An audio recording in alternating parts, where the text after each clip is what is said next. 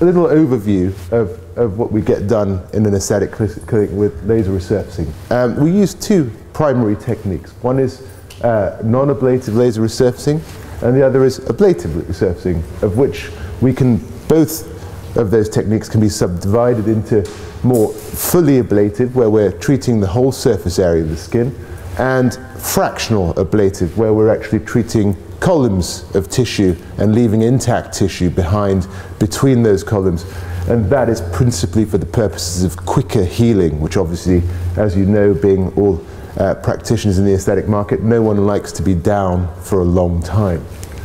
So, let's have a look at some common clinic indications for treatment with laser resurfacing. So, with uh, ablative methods, uh, we're often using uh, devices like the CO2 laser uh, and the erbium YAG laser. These uh, are very, very well absorbed by water in tissues and as a result uh, cause vaporization of those tissues. Depending on the wavelength that you're using, there's a differing degree of thermal damage to the tissue underneath that is if, if you're using an ablative laser, you can do things like rejuvenate the face, treat rhytids, probably deeper rhytids, moderate rhytids. Um, acne scarring is an area where we use the lasers quite a lot. And removal of simple epidermal and dermal lesions uh, is something which we do quite often with the ablative laser as well. Non-ablative lasers um, we often are uh, using for uh, photoaging, rejuvenation of the face, finer rhytids. Uh, in my opinion, my humble opinion, it has more limited applications in the treatment of acne scarring. Um, and often because of the penetration depth with these devices, we're talking about treating things at the, up to the epidermal dermal junction, junctional lesions, pigmentation in that area as well. So, this is some work that was done by Sasaki et al. Uh, in 2009, published in the uh, Journal of Cosmetic Laser Dermatology. And it is a slide that I have found exceedingly important when thinking about laser resurfacing. 121 patients had varying degrees of, uh, sorry, uh, various areas of their um, uh, skin sampled, uh, and the thickness, the average thicknesses were looked at. Um, and as you can see, uh, we, we all know that there are varying skin thicknesses on the body, but areas like uh, the lateral cheek have a nice thick skin layer and obviously areas such as the eyelid have a uh, much thinner sort of layer, 0.5 millimeters versus 2 millimeters. Now, it's very important to consider this to a very accurate level when we're talking about laser and depth of penetration because obviously you know when we are adjusting devices and adjusting parameters we are in fact very often adjusting the depth of penetration and if we go wrong with that particularly in areas like the eye, particularly with fractional devices, you risk causing damage to structures below the skin. So you must, must be very aware of skin thickness, and this slide is available to you all, I think, in, in module four as well to, to have a look at peruse. Another very important thing when planning laser ablation or, or, or laser resurfacing is the density of treatment. Now, the skin's ability to recover depends on the presence of adnexal structures within the skin. So if you have a, low density of adnexal structures, areas such as the neck and the chest, if you do aggressive laser procedures in this area, you'll be fraught with a lot of problems, uh, scarring, uh, you'll be having problems with prolonged recovery, uh, prolonged erythema, uh, and the outcome might be rather worse than you would expect. And that's because the potential of these areas to skin, uh, sorry, of these areas of skin to heal is much, much reduced. So you can be more aggressive on the face. Funnily enough, that might not be intuitive. You think the face is a very delicate area, would be very careful. Of course we do. But in terms of healing, adnexal structure, structure density on the face is, is, is much greater than, for example, like say in neck and chest and the extremities of the body. So What's actually happening in the skin when we're doing this? Um, effectively, we are ablating tissue in these lower slides, you see what fractional ablation looks like. If we're doing non-ablative, these orange lines within the skin are not holes. They're actually columns of coagulated tissue.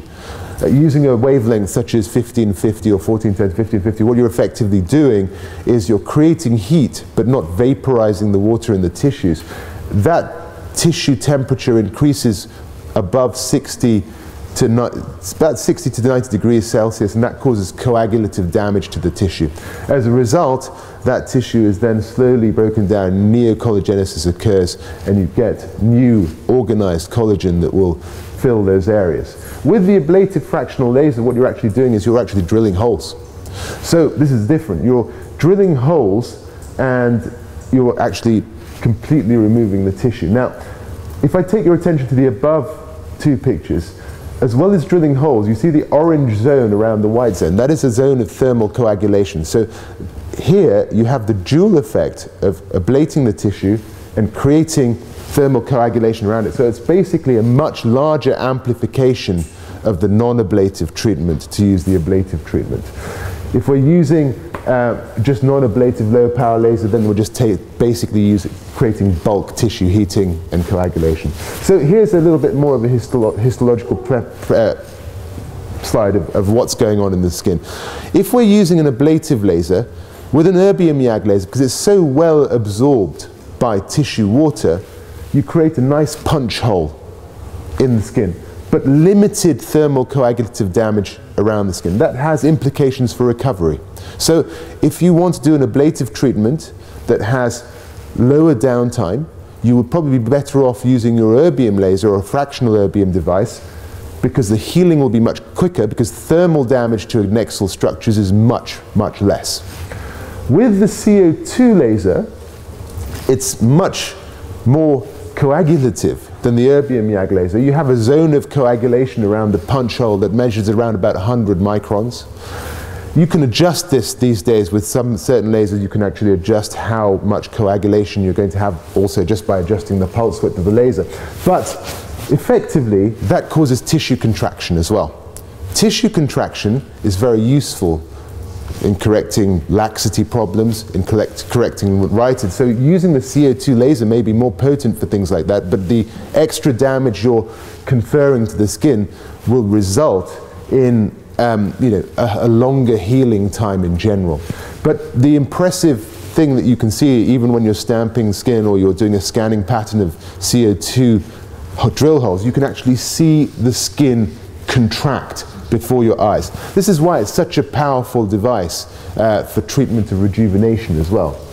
So, laser is a very safe and measured approach. I put this slide in because this is a Fitzpatrick 4 skin type. And as you probably know, on Fitzpatrick 4 skin types, the last thing you want to do is cause pigmentation abnormalities because they get very upset, as anyone would. But, you know, um, effectively, you can control laser skin damage and density very precisely. A chemical peel to achieve this level of effect would probably be using something like a Jessner combined with a 25% TCA. And you know, experiences with anyone that has done a lot of chemical peels will probably tell you that you're starting to step into risky territory. And I would guess that not many people would do Jessner's 25% TCA on a lady like this without not losing a little bit of sleep over it overnight. Um, but with the uh, non-ablative laser, as you can see that I've used the 1927 wavelength here, I've effectively taken off her epidermis and caused a little bit of thermal coagulative uh, damage to the superficial papillary dermis. But as you can see, within a week, she has recovered quite well, and the junctional lesions, which she was more worried about, these lentiginous lesions on the side of her cheek, nicely reduced. Not completely removed, but nicely reduced. We can use the fractional CO2 at a rather more low level to achieve similar. Uh, in Caucasian skin, we get the added benefit of a little bit more thermal contraction. You can deal with the photoaging, but you can also deal with fine rhytids around the eyes and the mouth and not give them too much downtime because you're not doing too, too deep a treatment and the fractional density is a little bit lower here. Acne scarring. Lots of people talk about lasers and acne scarring, it's actually not just lasers and acne scarring. It's a multi-modality uh, approach. So uh, there are different types of acne scars that you're aware of, and they have varying depths within the skin. Ice pick scars, uh, boxcar scarring, rolling and tethered scars. These are pretty tough to treat because they actually have um, uh, fibrous tethering to the, to the SMAS layer underneath, which is quite difficult to get rid of just with a laser. So we have to use many techniques in the treatment of acne scarring. It's not just acne scarring, laser it somehow. So Ice pick scars I'll often surgically remove with a two millimeter punch. Uh, sometimes I'll use TCA cross to try and close them down a little bit more uh, with 90% TCA applied with a 30 gauge needle within the scar itself. Um, boxcar scarring is something that responds very well to full ablation uh, and shouldering of the scars is something I do very often with my erbium laser just to improve these, the contours, the, the sharp contours of the boxcar scar. Rolling and tethered scars are rather more difficult and I've uh, been using uh, slightly newer methods. I'm sure Hema will probably be aware of uh, Mark Taylor's method of full field subcision under tumescent anesthesia. It's something we've been using uh, recently after going and meeting with him in Salt Lake, um, effectively using a, a high flow uh, tumescent anesthesia pump to hydrodissect the cheek and create nice uh, closure of the perforating vessels with the adrenaline and the tumescent mix, and then use quite a large probe to literally slide in the superficial cutaneous plane and dissect all those tetherings and then when you see those pop nicely up, you've already done quite a large bit of your work, and then you can accompany that directly with this, the, the fractional CO2 laser to achieve a nice complete result. This gentleman here is having a little bit of uh, full field erbium ablation to boxcar scars. Um, you can see what we've done here is we've marked out areas of significant scarring and here I'm literally using the erbium YAG laser to shoulder the scars and effectively sort of ablating those shoulders down and using a, a, little bit of a longer pulse which creates a little bit of thermal contraction under there and coagulative damage and that smooths off those boxcar scars quite nicely. You can't subcise boxcar scars and if you punch excise them you create large scars. So the laser is very useful in this scenario. And you can see I've, I've not done an after, but I've done a, I just wanted to show you what kind of sort of after effects immediately afterwards go on with this quite kind of procedure. So you can see it's a much more invasive procedure than, than some of us are used to. Uh, and the recovery, we have to monitor these people very carefully in the recovery period as they're susceptible to all kinds of problems, which I'll talk about later. This is a gentleman who had uh, tethered rolling acne scars, which are quite difficult to treat. This is a gentleman, we did our first uh, tumescent anesthesia subcision uh, with fractional laser. Uh, and as you can see, there's, uh, the, the, uh, the, lighting has not come out very well, but I've tried to done, do the lighting at an angle so you can appreciate the relief of the scars. And uh, this is probably, I think, about six, seven days down the line. still a little bit of edematous, but you can see that those scars have popped out quite nicely just with the subcision alone. So, you know, the, the fractional, uh, the, the, the, advantage of the tumescent is you can go straight over afterwards with your fractional laser, and the subdermal plexus gives you quite a good um, sort of anastomotic link under the skin. So even though the tools might knock out a few of the perforator vessels, you still have reasonably good skin healing after the procedure. This is just to show you that we can use procedures on the neck. This is a relatively light procedure on the neck using only 300 micrometers of depth and a fractional density of 20%, which is not exceptional. But recovery is long and even about uh, sort of a week to 10 days afterwards, she still got erythema. So, you know, this is a tricky area with lasers. You can do mild laser treatments, but when you start to get significant laxity and significant rhytids, laser cannot be upgraded in these areas without causing problems. Perioral rhytids tend to respond quite well uh, to uh, erbium uh, YAG uh, laser and also CO2 laser. Here's a little bit of uh, erbium YAG laser just uh, shortly after we performed it. And here's a pre and post of some perioral rhytids treated with erbium YAG laser alone. So um, effectively, um, you know, you can, you can use it with fillers as an adjunct, or you can use it on its own, depending on you know, your preference there. Um, periocular rejuvenation, a little bit more of an advanced indication with lasers. You've got to be very careful. You've got to be making sure you're protecting the eye adequately uh, with a metal eye shield. Uh, but remember, it's not just about laser. You use laser synergistically. If you don't correct, correct volume loss, if you don't correct uh, movement issues, you won't get the optimal correction. If you don't uh, correct the lid cheek junction, the lack of SOOF, uh, you know, you, you won't get a, a beautiful overall effect. You need to treat the eye holistically. So you need to use all techniques together. Laser can help because, like I said, it helps with skin laxity, it helps with tightening the skin, and it helps with resurfacing the skin. Here, very often I tend to use my uh, uh, erbium YAG laser on the upper lid. It's a little bit more uh, safer to do, uh, it's, it's, it's, you can be a bit more safe on the upper lip with, with a more aggressive, fully ablative technique. Uh, in the lower lid, I tend to stick to a fractional CO2 um, uh, procedure. I use a device called the CO2RE. It's got a little bit of a longer pulse width, so you get that little bit more of th uh, thermal coagulation around your uh, punch holes. Um, these are typical parameters that I might use uh, for light sort of uh, laxity, but for more deeper, deeper rhytids around the lower eyelid, uh, I would go for a uh, slightly deeper penetration but lower density treatment. Um, Non-ablative lasers, one thing that's nice about these non-ablative lasers, like I say, you can use them uh, for low downtime procedures and you can get a lot of um, full field uh, photo damage treated uh, very easily. So you know, when people will come to you, very often, sometimes uh, with people with lasers in their clinics might say, okay, you've got a few, few lentigos, let's just treat them individually with a Q-switch laser. Now, if you're treating pigmentation individually with a Q-switch laser, laser, it's great, but blending the areas treated afterwards can be a little bit of an issue because you'll see a demarcation around the areas that you've treated.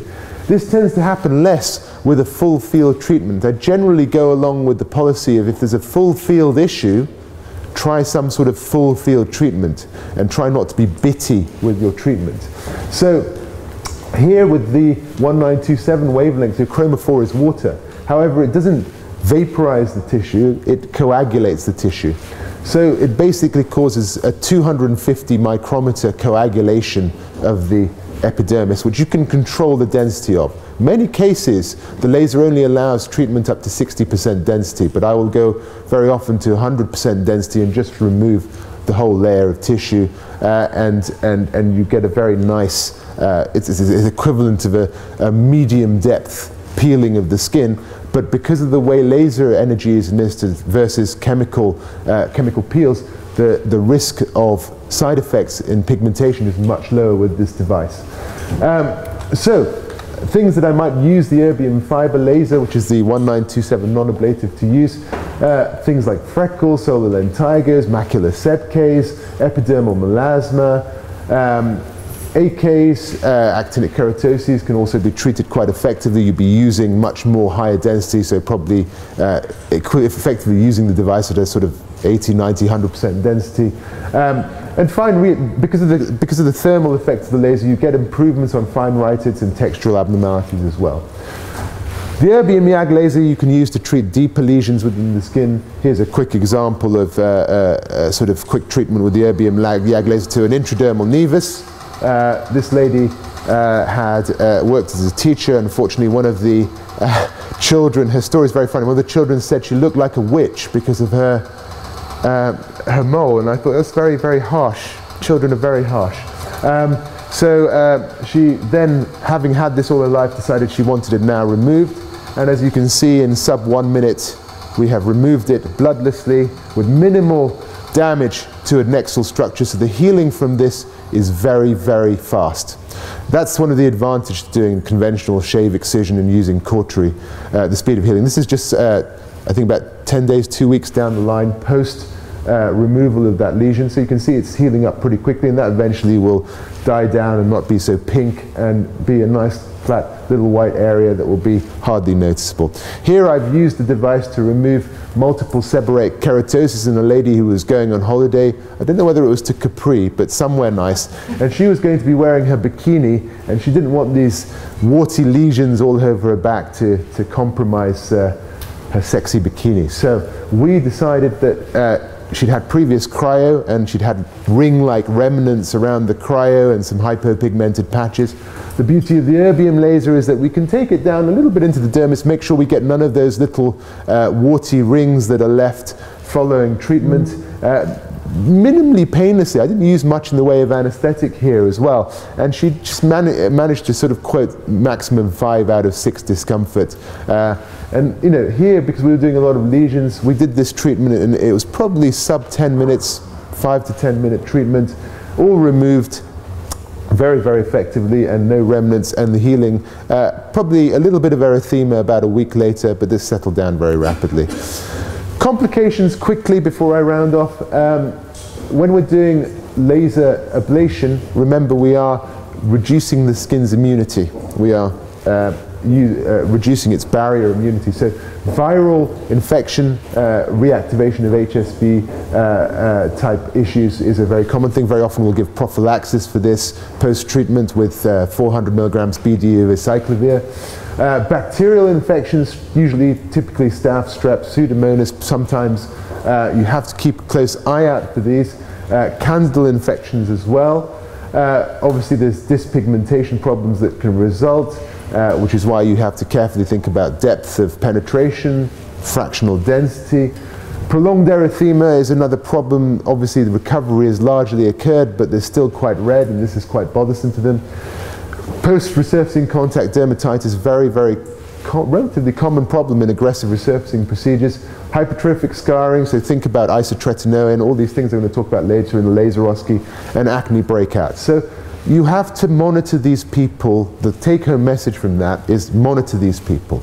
Monitor these people closely. Rather than dealing with complications in this sense, I like to pick them up immediately when they occur and treat aggressively because you don't want them to run rife and someone come to you a week later and say, I've been having an infection for a week, now deal with the consequences. You need to pick that up quickly and have a low index of suspicion.